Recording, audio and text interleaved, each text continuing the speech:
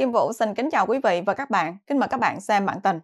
Hơn 50% công ty Hàn Quốc ở Việt Nam bị nhân viên ăn cắp công nghệ. Ngày 3 tháng 12, VOA Tiếng Việt loan tin, hơn một nửa các hãng Hàn Quốc ở Việt Nam bị rò rỉ công nghệ trong năm 2024. VOA dẫn thông tin được Viện Kinh tế Công nghiệp và Thương mại Hàn Quốc công bố ngày 2 tháng 12, cho thấy hơn một nửa số công ty Hàn Quốc hoạt động tại Việt Nam đã bị nhân viên đánh cắp công nghệ trong năm nay, theo tin của các kênh truyền thông Hàn Quốc như Yonhap, The Korean Times và Korean Chong'an Daily. Theo VOA, viện nghiên cứu này được nhà nước cấp ngân quỹ đã khảo sát 335 công ty Hàn Quốc có hoạt động kinh doanh tại Việt Nam trong giai đoạn từ tháng 7 đến tháng 10 vừa qua để tìm hiểu về môi trường kinh doanh của thị trường ở Việt Nam. Và đây là hình bản tin trên VOA. Theo khảo sát của Viện Kinh tế Công nghiệp và Thương mại Hàn Quốc, gần 55% các công ty chia sẻ rằng họ đã bị rò rỉ công nghệ và bị đe dọa bởi nhân viên nước ngoài và Hàn Quốc các công ty đối thủ và những bên khác tại Việt Nam. VOA cho biết tỷ lệ này tăng mạnh so với mức 34,6% là kết quả khảo sát hồi năm ngoái ở Việt Nam, đất nước là đối tác thương mại lớn thứ ba của Hàn Quốc. Các bản tin của Yonhap, The Korean Times và Korean Yonhap Daily viết, trong số những người đánh cắp công nghệ và đưa ra lời đe dọa, nhân viên nước ngoài chiếm 28,3%, tiếp theo là các hãng đối tác và các hãng đối thủ ở mức 22,1% và nhân viên người Hàn Quốc với 20,4%. VOA cũng cho biết, tính theo ngành, hầu hết các công ty ô tô và linh kiện cùng với 42,9% các hãng hóa dầu nói rằng nhân viên nước ngoài có dính dáng đến rò rỉ công nghệ. Ngược lại, 40% các công ty bán dẫn cho hay nhân viên người Hàn Quốc đã đánh cắp công nghệ của họ và tống tiền họ. Hơn 50% các hãng chỉ ra rằng việc thiếu an ninh trong quản lý nhân sự và tài liệu là nguyên nhân chính gây ra rò rỉ công nghệ. Viện Kinh tế Công nghiệp và Thương mại Hàn Quốc nói rằng các công ty cần tăng cường các biện pháp an ninh của chính họ và chính phủ cần cung cấp hỗ trợ có hệ thống, chẳng hạn như hướng dẫn bảo vệ công nghệ, dịch vụ tư vấn về hệ thống an ninh và sách hướng dẫn hỗ trợ các công ty trong trường hợp xảy ra tranh chấp pháp lý quốc tế, theo các hãng tin Hàn Quốc chia sẻ.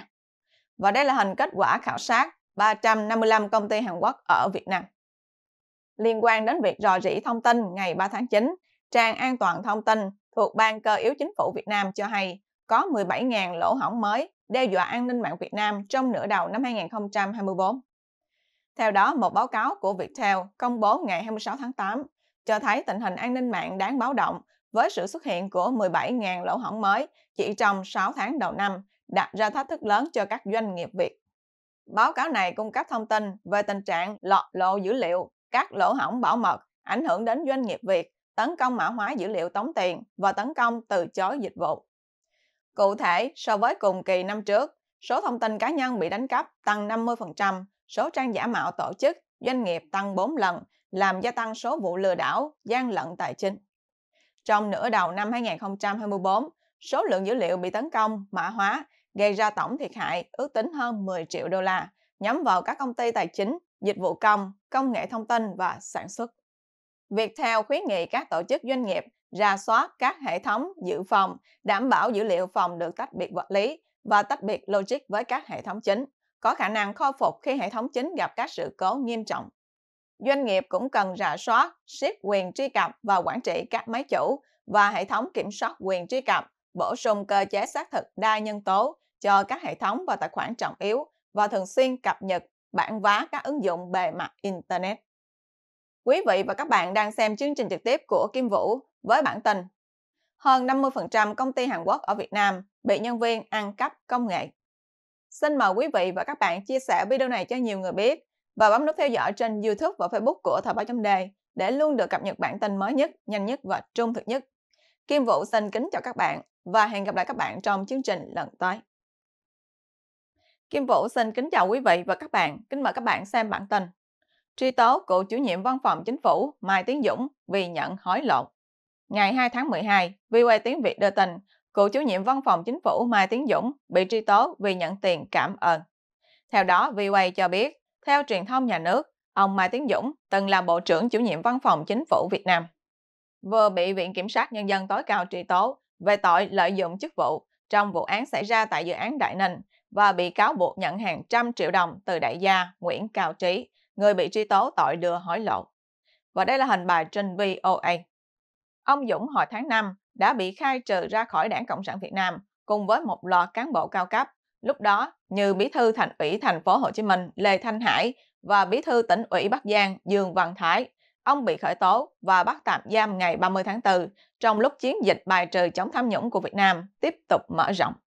VOA trích dẫn VN Express và Dân trí cho hay, Viện Kiểm sát Nhân dân tối cao ngày 29 tháng 11 ban hành cáo trạng vụ án lợi dụng chức vụ, quyền hạn trong khi thi hành công vụ, đưa và nhận hối lộ xảy ra tại dự án khu đô thị thương mại, du lịch, nghỉ dưỡng sinh thái Đại Ninh ở tỉnh Lâm Đồng.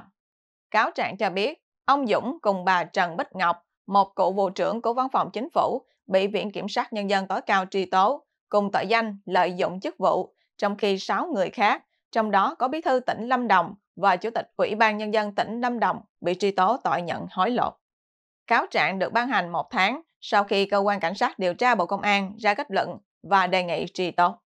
VOA cho biết thêm, theo cáo trạng, công ty cổ phần đầu tư du lịch Sài Gòn Đại Ninh do ông Trí làm tổng giám đốc được Ủy ban Nhân dân tỉnh Lâm Đồng cấp giấy chứng nhận đầu tư thực hiện dự án Đại Ninh từ năm 2010 với tổng diện tích đất quy hoạch cho dự án là gần 3.600 hecta.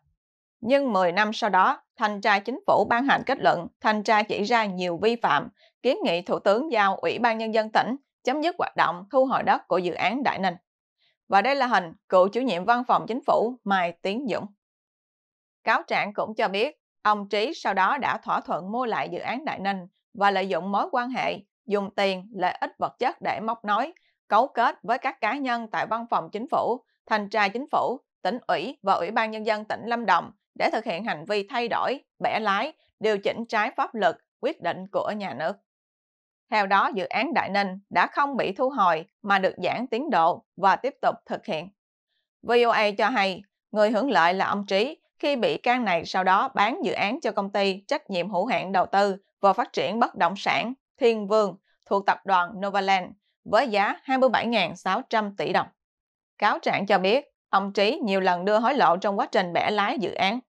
Báo Việt Nam Net đưa tin ngày 2 tháng 12, ông Dũng đã bút phê vào đơn giao vụ 1 của Văn phòng Chính phủ do bà Ngọc đứng đầu để đề xuất tiếp tục dự án Đại Ninh.